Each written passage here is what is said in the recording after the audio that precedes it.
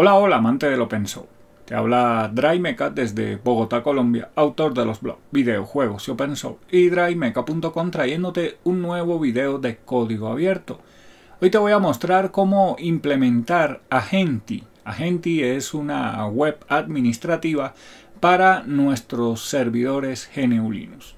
Este video te lo traigo desde este equipo que es Ubuntu Bootgui 2204.1 LTS. Bien, ya anteriormente eh, hice un video sobre Agenti, pero en un servidor Ubuntu, bien, y hoy te lo voy a mostrar con un servidor Debian.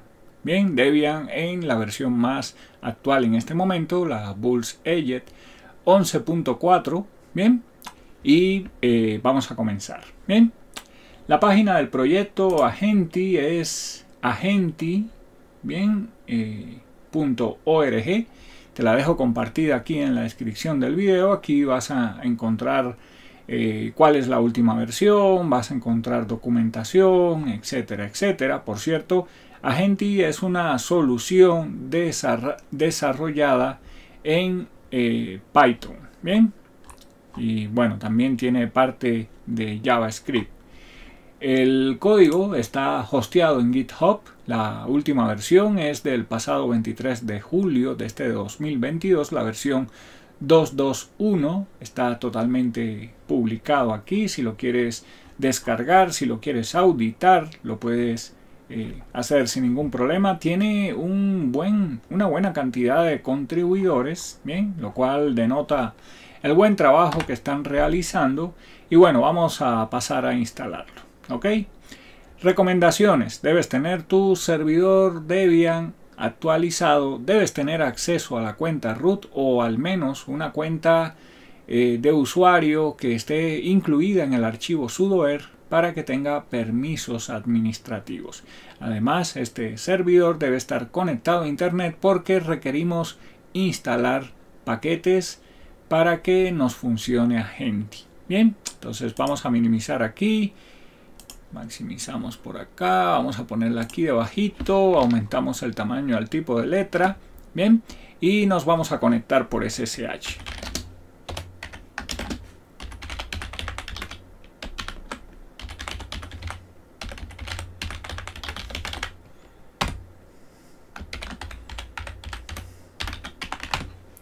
Ya estamos aquí conectados. Si miramos, eh, es Debian con un kernel 5.10.0.17. Si le damos un cat a etc-release, aquí nos dice que efectivamente es Debian Bulls. Bien, la versión 11.4 en este momento. Y bueno, es con la que vamos a trabajar. ¿Cómo podemos verificar si tenemos o no actualizaciones pendientes? Muy fácil. Con un comando sudo apt update escribimos nuestra contraseña, presionamos Enter y aquí nos debe decir si tenemos o no actualizaciones. Como ves, tenemos nuestro equipo totalmente actualizado. Recuerda que un equipo actualizado es un equipo mucho más estable, seguro y libre de errores. Además, las actualizaciones son gratuitas, no tienes ninguna excusa para no colocarlas. Bien, bueno, yo tengo aquí un listado de las tareas que por cierto ya se las compartí a los miembros y aprovecho para invitarte a ser parte de la membresía si quieres aprender esto y mucho más. Lo primero que vamos a hacer es instalarnos el comando curl en caso dado de que ya no lo tengas instalado. Lo hacemos con un comando sudo apt install curl. Es pequeñito, así que no nos va a tomar mucho tiempo, ya lo descargó e instaló. Ahora que ya tenemos CURL, vamos a descargarnos el script de instalación de Agenti con un comando curl menos o y le apuntamos al URL route githubusercontent.com slash agenti slash agenti slash master slash script slash install.sh presionamos enter es bastante pequeñito y ahora ya tenemos aquí el script descargado, que es con el que vamos a instalar. Siempre es buena política mirar lo que tiene un script, no ejecutarlo a ciegas. Bien, no sabemos qué pudiéramos estar ejecutando. Pero bueno, este es un, proyecto serio y eh, pues igual ahí está el script para que lo verifiques antes de ejecutarlo. Bien, ahora, ¿cómo ejecutamos el script? Bueno, para eso requerimos permisos, por lo cual lo vamos a ejecutar con sudo. Se lo vamos a pasar al intérprete de comandos bash punto slash porque está justamente donde estamos en este momento install.sh, es decir, estamos en nuestra carpeta de usuario donde lo descargamos. Presionamos Enter. Aquí ya de una vez nos detectó que estamos instalando en Debian, ¿bien? Y ahora va a instalar una serie de paquetes. Este script es totalmente automatizado, no vamos a tener que responder preguntas. Él básicamente va a comenzar a trabajar y al final ya vamos a tener instalado Agenti, para que lo comencemos a utilizar. Mientras hace esta tarea, vámonos por un café. Muy bien, ya terminó la instalación de Agenti por medio del script.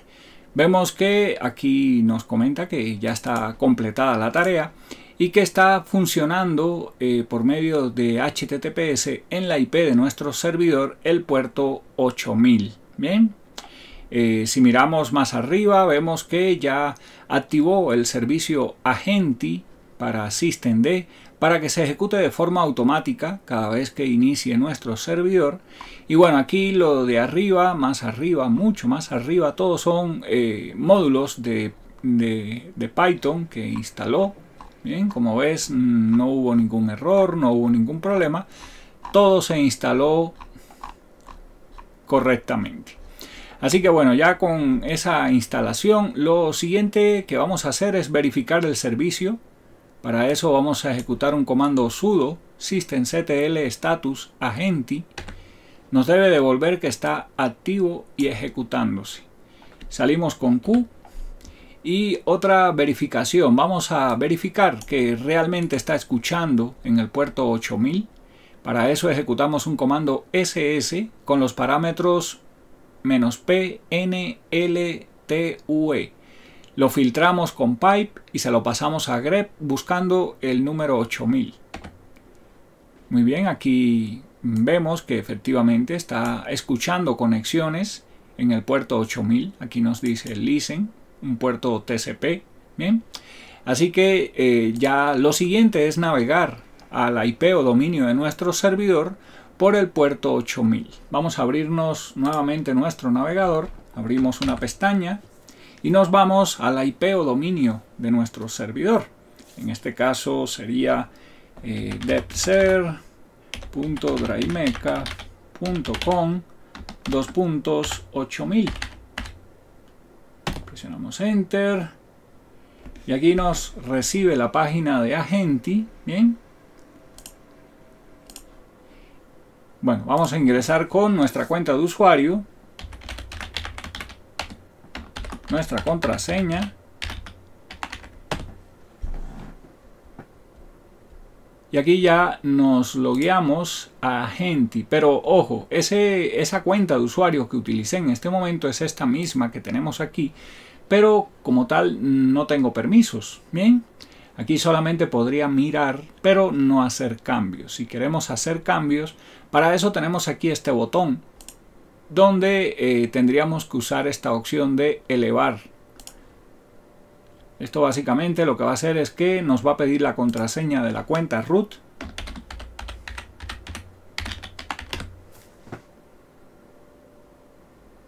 Y ahora sí ya podríamos hacer modificaciones, cambios, etcétera, etcétera. Bien, y aquí está disponible. Este es el dashboard donde nos muestra datos como el hostname del equipo, eh, uso de, los cores del procesador, uso de la CPU, la carga, en unos intervalos de 1 minuto, 5 minutos, 15 minutos, el tiempo que lleva prendido este servidor. El total de memoria, bien, la memoria en uso, todos estos se pueden cambiar, se pueden modificar, se pueden agregar otros widgets, se puede ampliar esta ventana, bien. Pero bueno, ya eso sería tema para un siguiente video, dependiendo de qué tanto amor, qué tanto apoyo le den a este video. Muchas gracias a los miembros del canal. Chao, chao y nos vemos en internet.